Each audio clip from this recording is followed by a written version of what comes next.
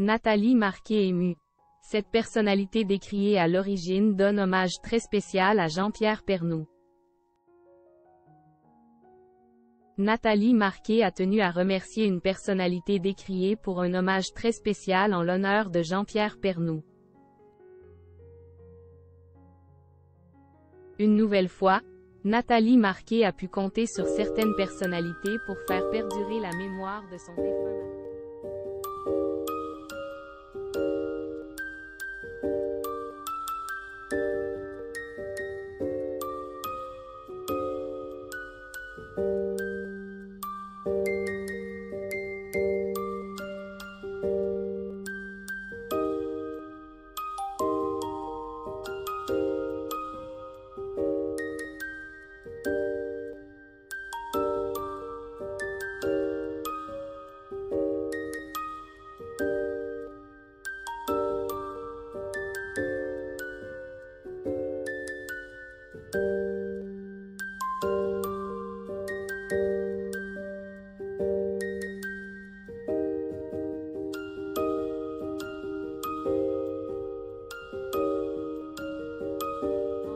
son sourire, son rire, ses câlins, sa voix, son humour, sa générosité, avait écrit Lou Pernaud.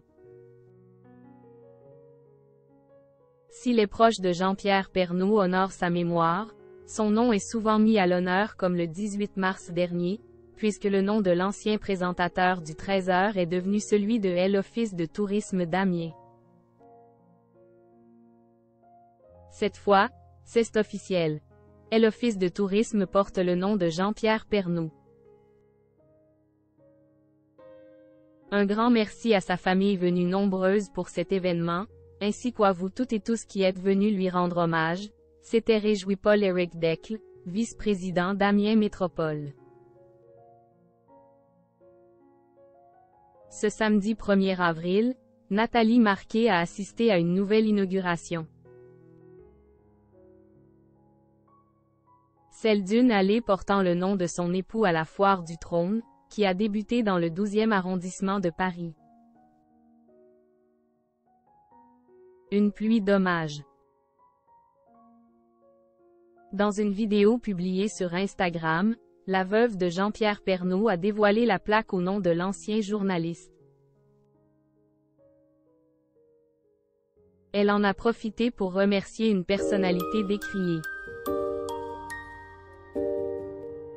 Mille merci à l'immense Marcel Campion pour cet hommage à Jean-Pierre si attaché au forain, a-t-elle écrit.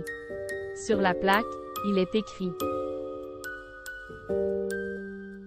Allez Jean-Pierre Pernaud, ami des forains.